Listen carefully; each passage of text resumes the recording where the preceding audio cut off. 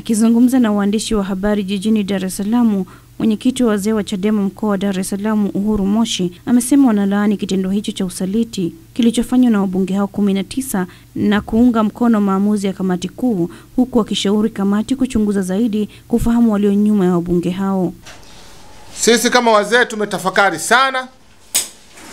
na tumeona tuwape taarifa wa Tanzania kupitia kwenu waandishi wa habari kwamba sisi kama wazee almaarufu kama bawa, babazecha tumelani, tunaendelea kulani, lakini kikubwa zaidi tunaunga mkono tunaunga mkono maamuzi ya kamati kuu, kamati kuu ambacho ndo chombo pekee ambacho kinatenda haki ndani ya chama hiki cha demokrasia na maendeleo Chadema. Maamuzi yake walioyaamua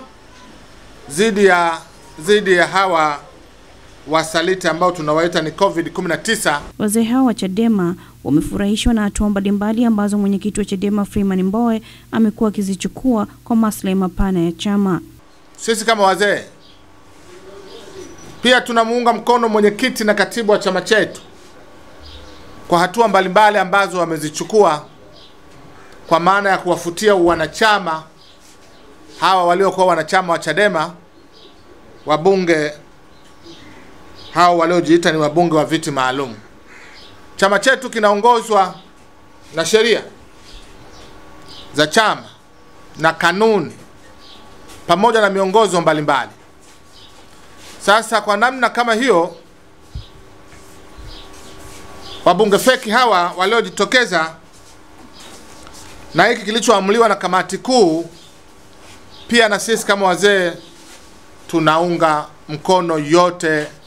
yaliyotendwa na kamati kuu na yaliyosemwa na mwenyekiti wetu wa chama taifa, Mheshimiwa Filmon Aikael mboe Novemba 27 chama cha demokrasia na maendeleo Chadema kilitangaza kuwafukuza wanachama wa bunge 19 kwa tuhuma za usaliti.